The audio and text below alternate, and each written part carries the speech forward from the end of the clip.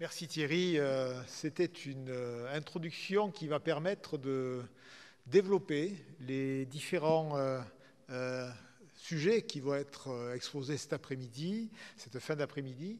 Et pour l'exposé suivant, eh bien, c'est le professeur Henri Judet, ancien président de l'Académie nationale de chirurgie, qui malheureusement, pour des raisons personnelles, ne peut pas être là, mais qui a eu la, grande gentillesse d'enregistrer son, propos dans les locaux de l'Académie sur Guy Chauliac.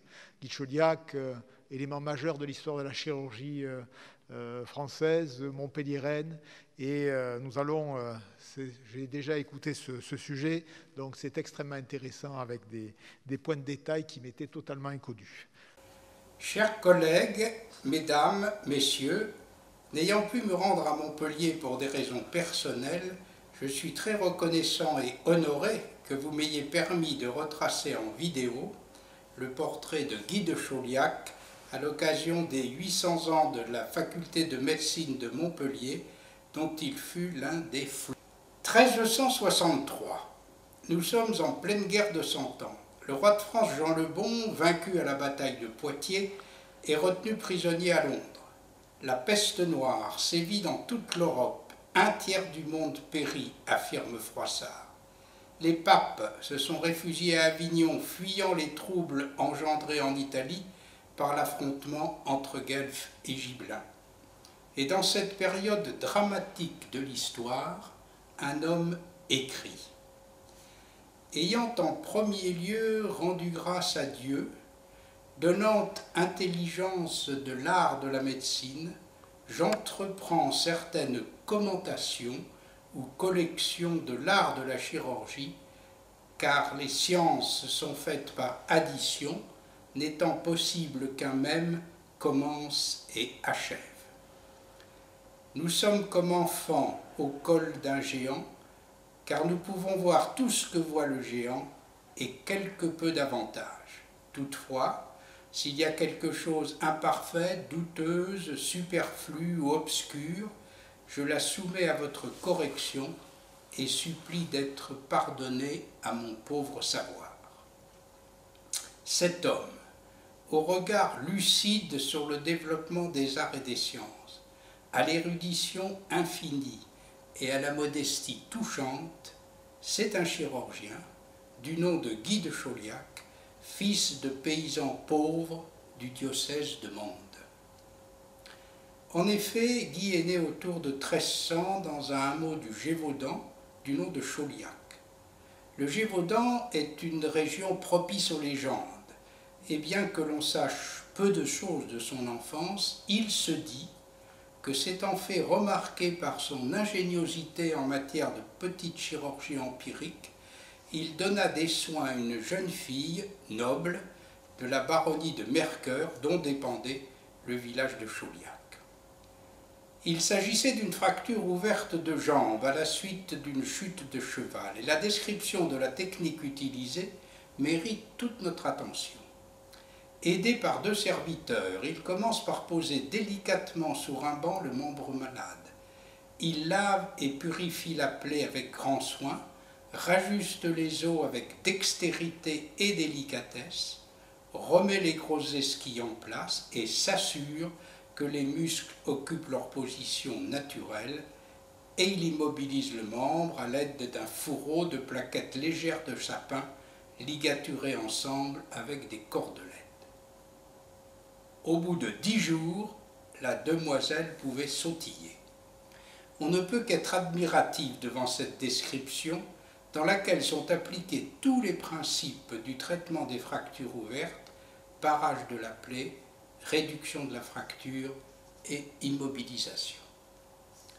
Cet acte, authentique ou non, lui aurait valu la protection des puissants seigneurs de Mercœur qui vont aider sa famille à financer ses études, sans doute au prix du collège des chanoines de Mende où il fait l'apprentissage du latin.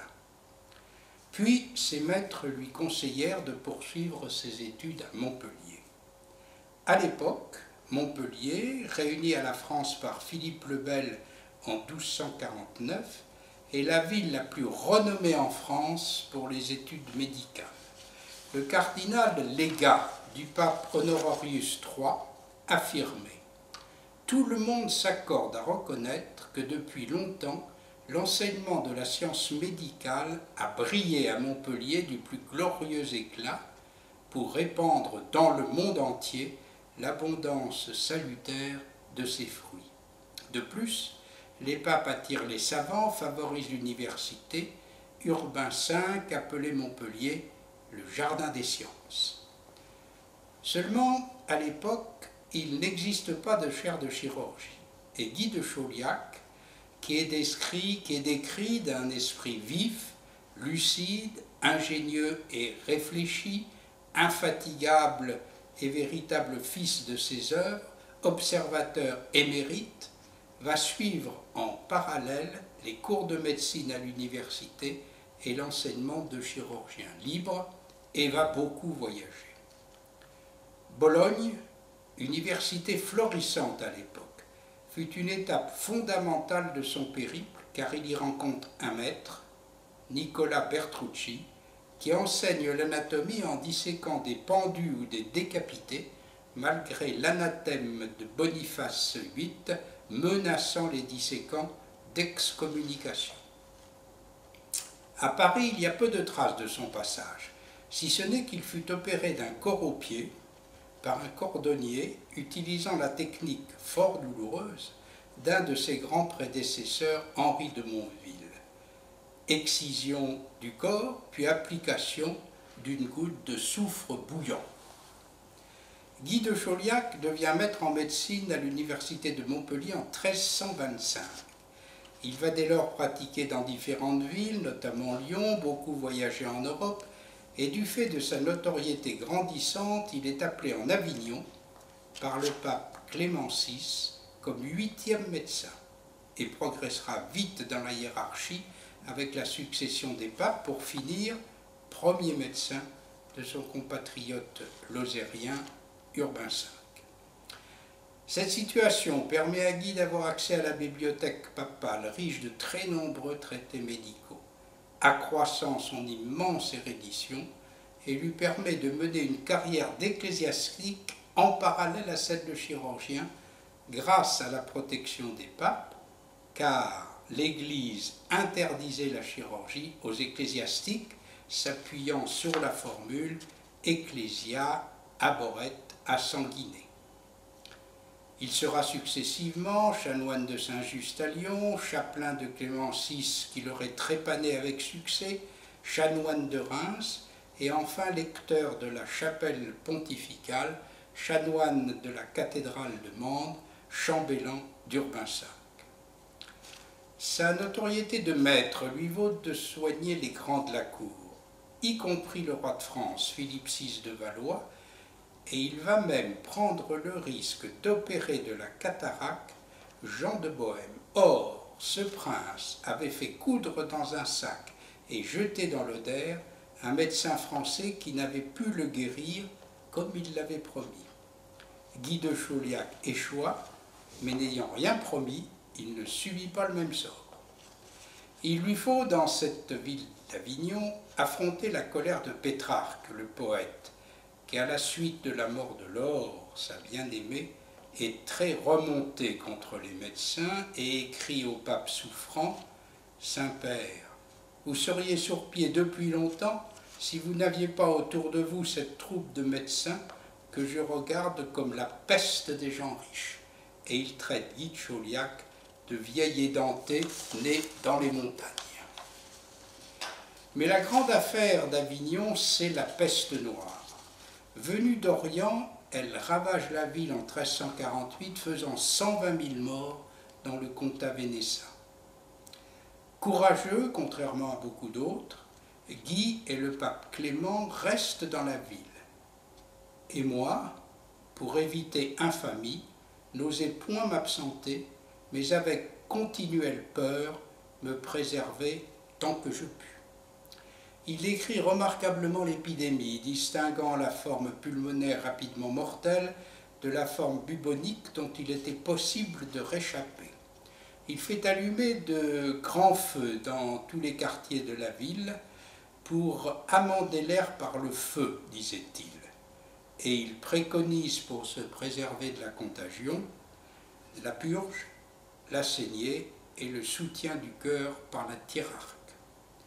Mais ces précautions ne le mettent pas à l'abri.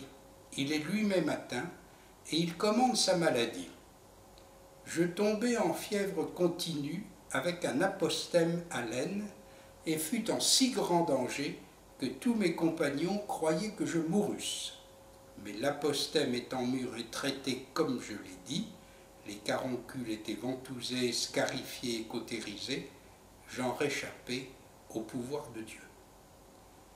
Et c'est heureux qu'il leur échappe, car c'est en 1363, à l'âge de 68 ans, qu'il rédigea l'œuvre majeure qui fait toute sa notoriété, actuellement connue sous le nom de Grande chirurgie et longtemps appelée Guidon, guide pour l'enseignement de la chirurgie. C'est une somme de 1500 pages, initialement manuscrite en latin, traduite en français, probablement du vivant de son auteur. Elle fut copiée et éditée en latin d'abord à Venise et à Lyon, et traduite en provençal, anglais, néerlandais, allemand, espagnol et hébreu. On répertorie actuellement 130 éditions et on la retrouve dans toute l'Europe Londres, Cracovie, Leipzig, Glasgow, Saint-Pétersbourg, Uppsala, Catane et même aux États-Unis. 356 textes, complets en Europe et 23 aux États-Unis. Elle servit d'ouvrage de base et d'idée directrice pour l'enseignement et la pratique de la chirurgie jusqu'au XVIIIe siècle, avec des abrégés à l'usage des étudiants dont l'Académie possède un exemplaire de 1649 que j'ai sous les yeux. Guy de Chauliac introduit son œuvre de la manière suivante. Chirurgien des frontières de l'Auvergne et chapelain commensal de notre Seigneur le Pape, ayant fait beaucoup d'opérations et lu beaucoup d'écrits des maîtres, principalement ceux de Galien, Ayant colligé son œuvre comme Dieu l'a voulu, Guy a entrepris cet ouvrage pour le soulasse de sa vieillesse et pour exercer son esprit. Il en fait hommage à sa chère école de Montpellier et en la soumettant modestement à la correction de messieurs les chirurgiens de Montpellier, Bologne et Paris, en les suppliant de pardonner son pauvre savoir. Il s'agit d'une compilation extrêmement érudite, associant grands principes généraux et observations personnelles, qui élève la chirurgie à la hauteur d'une science indépendante, cherchant la vérité par l'expérience et la raison. La chirurgie prend provisoirement place parmi les sciences universitaires. Esprit critique. Il refuse le dogme unique et s'étonne du manque d'audace de ses collègues ponctué par cette remarque, je m'esbaille d'une chose, qu'ils se suivent comme des grues. Il est très prudent sur la capacité des chirurgiens, guérissant les hommes autant qu'il est possible, ce n'est au pouvoir des médecins de toujours relever et guérir les malades. Requérir du médecin une démonstration est comme requérir d'un bègue d'haranguer il suffit qu'on fasse ce que l'art commande. Et prudent pour les indications, ainsi à propos de l'amputation, il est plus honnête que le membre tombe de lui-même que si on le tranchait, car quand on le tranche, il en reste quelques regrets du malade qui pense que le membre pouvait lui rester.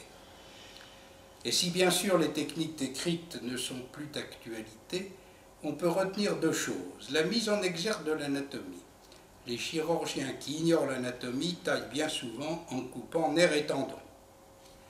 Et le portrait qu'il décrit du chirurgien idéal, dont beaucoup de traits pourraient être rappelés à ceux qui veulent entrer dans cette carrière.